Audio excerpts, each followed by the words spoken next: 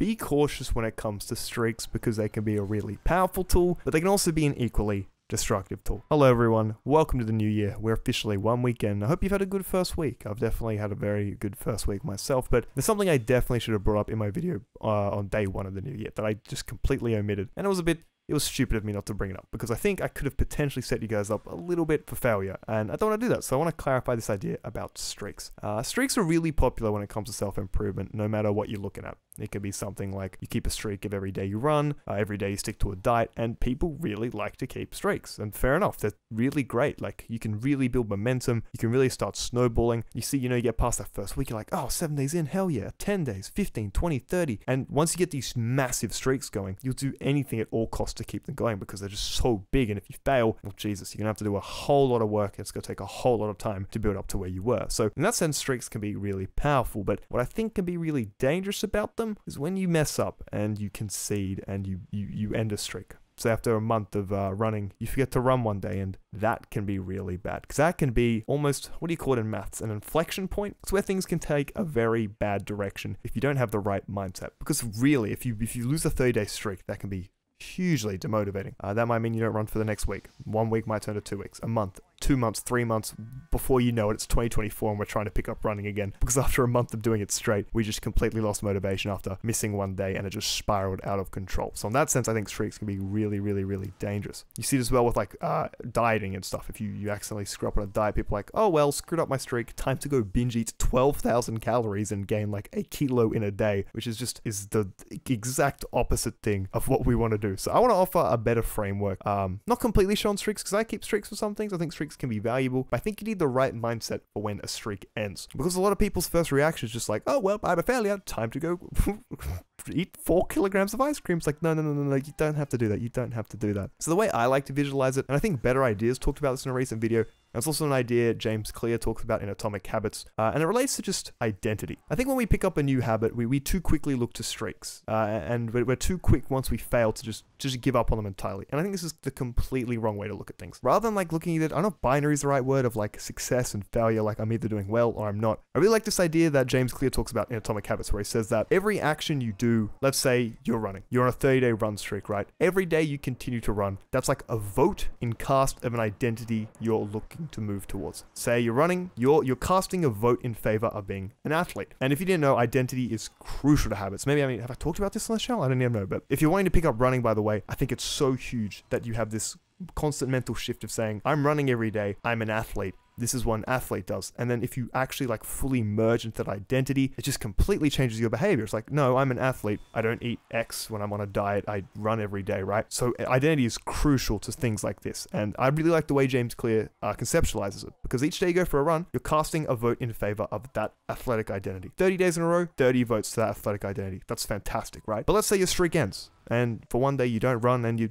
feeling a bit lazy, you just couldn't do it, right? Well, rather than everything coming to an end, that's just one vote in your old identity for someone who doesn't run. That's one vote, 1 to 30. Think of how massive that difference is. There's no way that one vote should ever, ever have that much power over you to lead to this massive negative spiral. I think that's so bad. So I really, I really think this is a powerful framework to think of habits through. This is, I think I mentioned before, I can't screw my recording, but I think better ideas. He mentioned this idea, he used the analogy of like two roads, right? And you have a really, it's like the road you're usually on it works, but you're not really happy with it, right? And you'd rather move to this more efficient road that doesn't have potholes. But unfortunately, there's lots of trees in the way. You gotta, you know, I think he says something about bush bashing your way through, right? So every day you're running, you know, you're, you're pushing through a bit more. You're, you're cutting down a tree, you're doing whatever it is, right? You're bush bashing, you're bush bashing through the road. 30 days, maybe you went 30 meters down the new road, right? And then one day you miss it. Well, guess what? The road's fine. It hasn't changed. It's still 30 meters worth of road. And it's only if you give it up for a week, two weeks, a month, two months, three months, that trees are going to start regrowing and patching over that, that, that path and you can't use it again. So just really keep this in mind with streaks. I think streaks are very powerful. It's good for building momentum and stuff. But more importantly, don't let you failing a streak make everything good you've worked towards collapse on you. Because that's the worst. That's the exact opposite of we want. Because we're human. Life happens. Sometimes we can't adhere to something, and we should not let that be the factor that just completely eradicates all the progress you've made. Some days we're not feeling it. Some days we succumb to our temptations, and that's fine. We're human beings. That is okay. The last thing we want is for those those moments of I don't say weakness, but I guess it is a moment of weakness where you you give into a craving, you, you don't go for the run, you skip a workout, right? That's fine. That's what every successful person who started you, you think like these successful weightlifters, power lifters, super athletes haven't skipped workouts? Of course they have. We're human beings. Don't go too harsh on yourself. Uh, this is something I need to tell myself is not to be too harsh on myself because I think streaks are great and I probably need to carry this mentality I'm telling you, which I do. I do. I definitely do. It's just like I try to keep myself to a higher standard because I want to. I want to make sure I can like vouch, you know, what I'm trying to preach to you guys. I want to try and hold myself to an even higher account just to give some form of authority on it, you know. But truly, just just I think it's a super super good framework to keep in mind. All progress isn't lost when you slip up once, but I think some people can let that happen. I think James Clear also talks about in Atomic Habits is that if you miss a,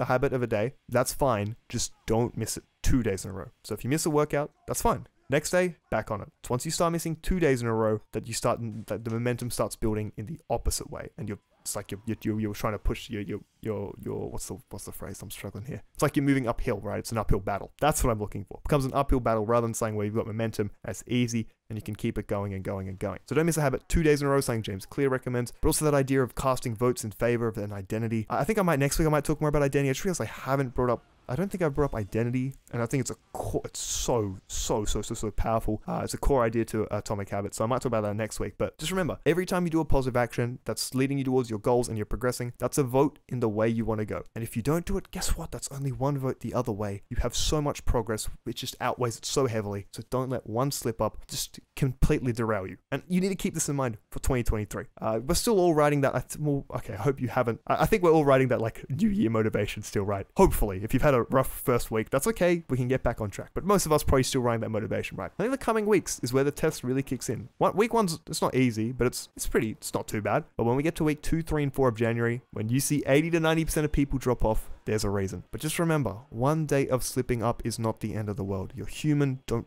fucking beat yourself up too hard. Just get back on track the next day. It's fine. We'll get through this. We'll do it. It's a long journey. Enjoy the journey. We'll all get through it. Cast those votes in the right identity that you want and be the, because you know, be the person you want to become. You've set a goal. Let's let's fucking hit it. I want you to hit it. Let's hit these goals this year. That's all I want to get to. That's basically all I want to say. This week's went pretty well. Pretty well. I've had to adjust my routine a bit. I realized it wasn't like super good, so I've already adjusted it a bit. I'm having I, I will say here, I'm having I'm having second thoughts about the third channel. I've realized that getting half a million subscribers on my main channel is going to require all my focus, and even dedicating one hour a day to my third channel. I don't. I, I'm not sure if that's going to be feasible. I might, I might have to come back to that idea in the future. But besides that, I did 20,000 steps every day this week. I went for three runs. I finished a main channel video. I had a great first week. I've lost a kilo and a half already. Um, I'm doing. I'm never going to encourage people to diet the way I do. I'm just used to fasting, so when I only have one meal a day and I walk 20,000 steps, my body's chill with that. I have a little lunch. I have some fruit for lunch, but I don't recommend that to anyone. But I, I had some success. I've lost a kilo and a half, which is good. And people say that's unhealthy. It's you're losing weight too quickly. I probably am, but it just works for me you do what you do, not recommending it. But I've had a successful first week. I've journaled every day, read every day, meditated every day. Uh, finished Jordan Peterson's 12 More Rules for Life. Actually, I got to finish that after this. I got 30 pages left. It's actually been a pretty good read. There's some points I was like, eh, not so good a read. But other points, I think there's some. Ve- I think I think Dr. Peterson. I think he does have some very valid advice for life. Uh, I think some people sell him short too quickly, uh, and I don't think it's entirely fair. Though he does say some pretty pretty stupid things occasionally, but I'm completely derailing. That's all from me. Uh, one week in. I hope you've done well. Feel free to email me questions. I haven't checked that email in a while, so I might they might take a look at some emails or something. Join the Discord, and yeah, farewell, elite level gamer.